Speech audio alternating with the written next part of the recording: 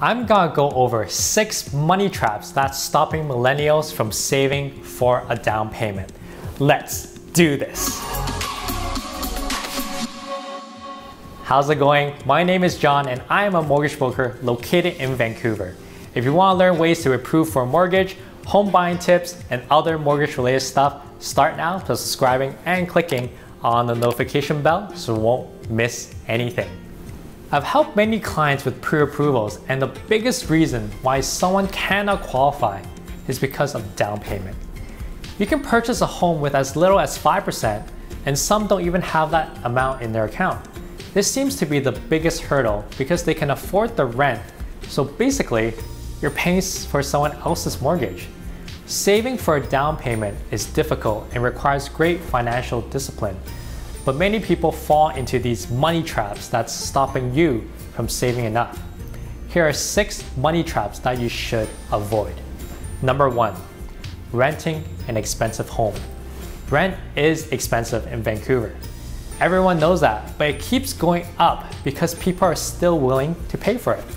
That doesn't mean there aren't cheaper options. The cheapest option and best way is to stay and live with your parents.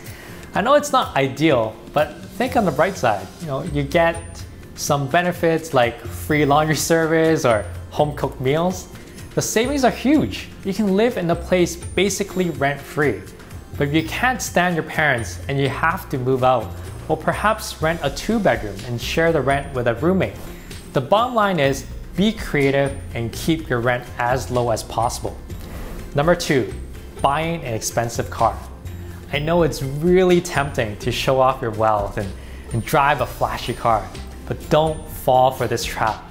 First off, you may think people care, but honestly, they don't. You may get such a great feeling out of it, but really it'll probably just last for about a week. You're simply satisfying your own ego. Buying a car is one of the worst assets to buy. If it's brand new, the minute you drive it away from the dealership, it has already depreciated. You spend a whole bunch of money on financing or leasing the car, which, by the way, reduces how much you can borrow for a mortgage. And babying it, and you do all this on something that keeps dropping in value.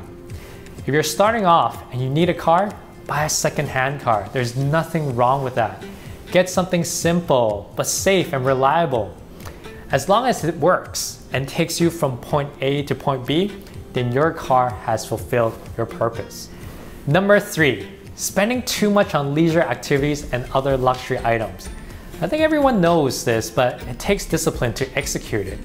I'm not saying to not have fun, but you're going if you're going out eating and drinking every single weekend, the expenses will add up. And hold off on luxury items. These are just stuff that you may want to show off and again to satisfy your own ego. The value of these things will depreciate. Just simply check the resale on secondhand luxury items online and you'll see that they're priced significantly less. Warren Buffett once said, if you buy things you do not need, soon you will have to sell things you need. Number four, having an expensive significant other. Dating doesn't have to be expensive.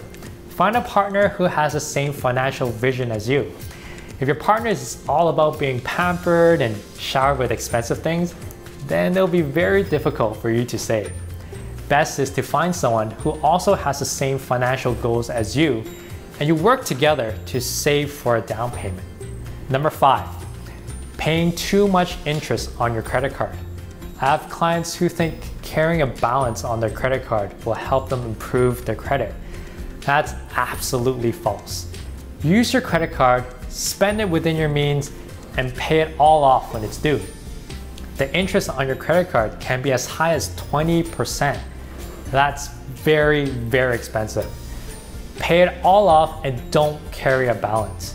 If you have trouble controlling yourself, reduce your credit limit to say 500 and use cash or debit card more often. And lastly, number six, not investing your savings. If you follow the previous tips, you should have some savings now, but what are you going to do with it? You have to invest it, but not in savings accounts or term deposits you need to be in investing vehicles that will bring you higher returns, such as mutual funds and stocks. Now, I don't have the actual stats, but we all know that Vancouver's real estate market continues to go up and up and up. So, say it goes up on average, say 5% per year. Your savings need to grow and keep up with this average, or else your buying power decreases. And one way to keep up is to invest in a balanced portfolio of mutual funds or stocks. Generally, the average return is around 5 to 7%. If you're keeping your money in savings account or term deposits, you'll probably be getting less than 2%. I mean, you, you aren't even keeping up with inflation, let alone real estate prices. And there you go. We just went over six money traps that's stopping millennials from saving for a down payment. And please remember to subscribe to my YouTube channel to learn more. And make sure you click on the notification bell so you won't miss a video. I'm John Lee, mortgage broker and CEO of Arise Mortgage. Where we're always achieving your approval.